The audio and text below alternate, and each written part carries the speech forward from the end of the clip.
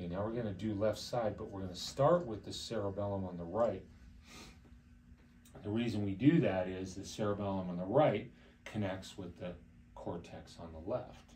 Hmm. And so we want to initially increase it because it juices that side. So we're going to give it its its stimulation and we're going to increase it. The the laser is about the wavelength of laser. It also is deep penetrating. We're we're currently using red and violet right now. They it, it allows us to go deep because it's laser, it's parallel light rather than the diverging light like your flashlight and that, or like LED, which is common nowadays.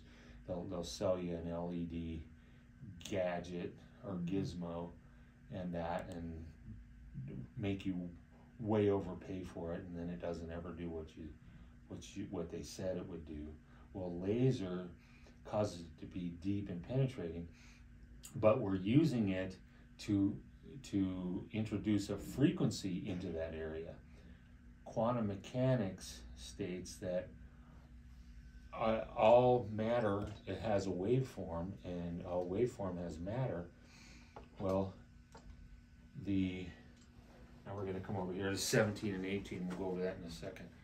But we're turning up 17 and 18 on this side. Uh, quantum mechanics is that we know what what every atom what its frequency is we actually have charted the body and the brain and different parts of the brain to the to the point we know what level of frequency those cells should be operating at and in in that we're we're basically selectively increase in inducing a frequency into specific areas of the brain to cause the internal workings of the cell cells to increase, right? We're increasing their metabolic capacity, we're increasing their, their mitochondria to do more work, we're causing this entire system uh, within the, the city within the cell to function at a higher level so that we can we can do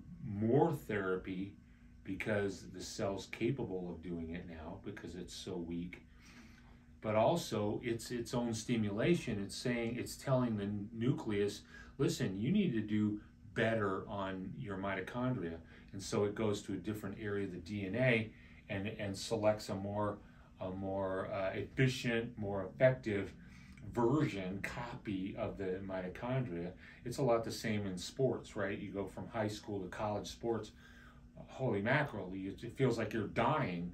And then after a while, boom, you're doing better. It's because you have more mitochondria, you have more blood flow, you've, you've totally changed your entire body to be able to do you know more at a higher level well this is that same process same exact process and we're forcing that system to do better